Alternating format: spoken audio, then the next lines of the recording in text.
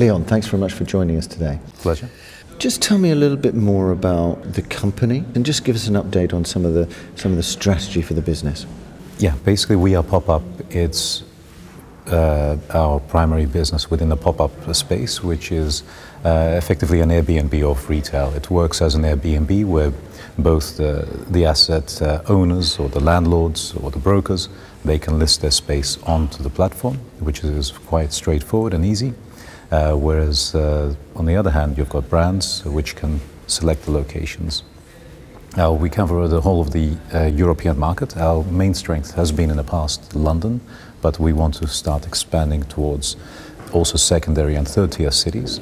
Uh, also looking at place making, how do we fix the problem, the locations, uh, but also by giving young entrepreneurs opportunities.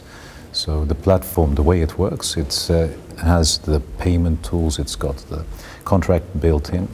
Uh, so it's a very easy, straightforward way, and it's a really easy tool for brokers to be able to work with, uh, with their assets to make sure their assets, uh, or the assets which, which they're managing, are constantly generating an income for their, uh, for, for their clients. Leon, there's a lot of discussion at the moment around e commerce, um, retail, and particularly the use of retail real estate space.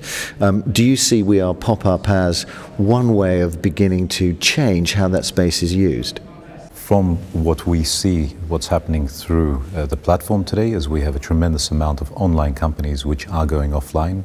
They're using it in many cases for branding, for brand awareness uh, of their uh, their website. It's difficult for online companies to create an online only experience. So the, at the end, if you're fighting for the client, you need to go offline.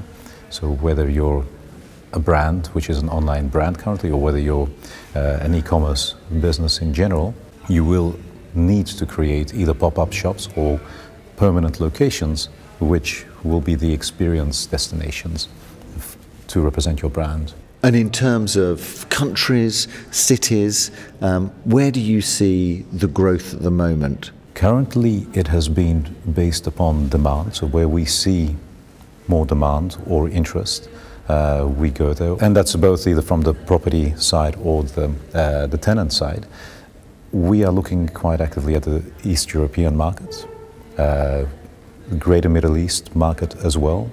Uh, but for us, it's all about bridging. It's about bringing companies from one country to another country, giving brands an opportunity of testing, trying, tasting basically the, the market.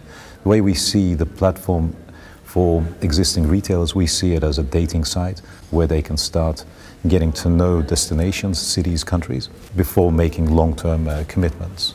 Great. Thanks very much for sharing your views on the on the company, an interesting strategy, and I look forward to seeing how it develops. Thank you very much.